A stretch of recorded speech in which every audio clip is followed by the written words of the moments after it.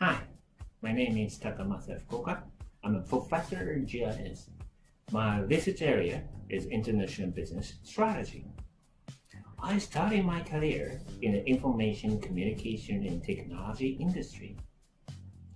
Um, at NTT East, I worked as a system and network engineer for foreign affiliate companies. Also, I was involved in global marketing and corporate planning department. Um, at NTT Communications, I was engaged in supporting local subsidiaries in Europe. And currently, I'm a business mentor for startups. Um, I have been serving more than 10 years uh, as a planner and a coordinator uh, for a Japanese government body, uh, which is concerned with stimulating the investment uh, by foreign countries or in the economy of local communities. Um, every year, I hold a forum with them uh, for local government stuff uh, to share the wants and needs of foreign affiliate companies and best practices uh, for foreign direct investment in Japan. Well, my current research interests fall into two areas.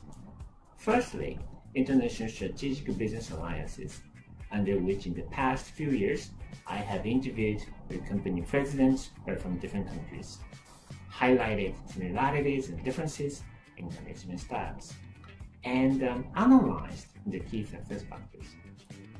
Articles are based on those interviews with the theoretical and practical implications have been published in area relevant journals.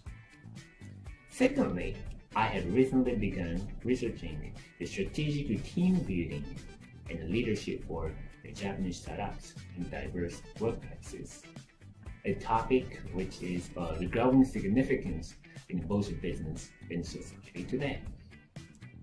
And the last but not least, my seminar students have done amazingly well in both marketing competitions and their own individual job hunting. Please check out the seminar's website for more information.